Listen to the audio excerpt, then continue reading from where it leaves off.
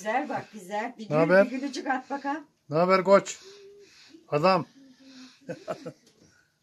Bu gaz çıkarma. Evet.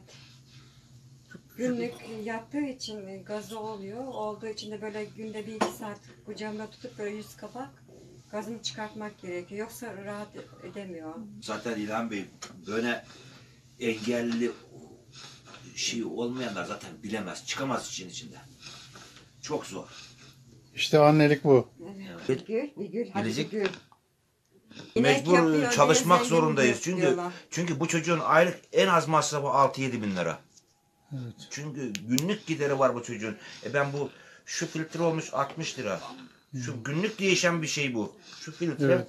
günlük günlük. İşte şunu günlük değiştiriyorsun bunu. 60 lira bunu medikalcide. Ben bunu toptan alıyorum bir şeyler yapıyorum. Ya bunlar Allah'tan aspirasyon sontalarını artık rapor çıkarttırdım. Onu e, az bir şeyle kurtardı. Bu da benim oğlum. 25 seneden beri beraberiz Yusuf'la. İşte günümüz bununla geçiyor. Aynen aynen. Zaten hani bak, bakmayan bilemez de yani tahmin edenler de zaten bir günümün e, birçoğunu hep Yusuf'la geçiriyorum zaten. Yani köyde yaşıyorsunuz. Evet. Yani buna bir sürü iş var köyde. Evet Ee, evet. yani çocuk e, daha önemli. Aynen. Yani diğer işleri yapamıyorsunuz. Yok zaten inanır mısınız saat 11-12'ye kadar bir kahvaltı masasını bile toplayamıyorum ben.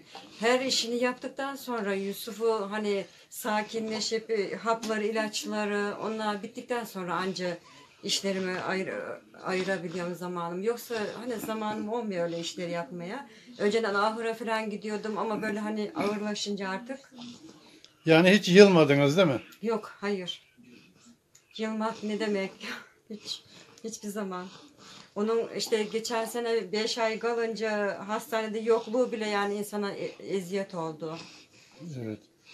Gerçi her gün gidip geldik. Hayır. Rabbim işte bize verdi. Biz de bir imtihandayız. evet. Bu imtihanı da geçebilirsek iyi yani. Çok iyi baksınlar. Yani onlar da biliyorlar zaten hani çocuklarının sorununu anlayabiliyorlar, şey yapıyorlar. Yani çekmeyen bilemez bunu. Çekmeyen bilemez. Allah hepsine sağlık, sıhhat versin yavrularına. Kimse üzülmesin. Evet.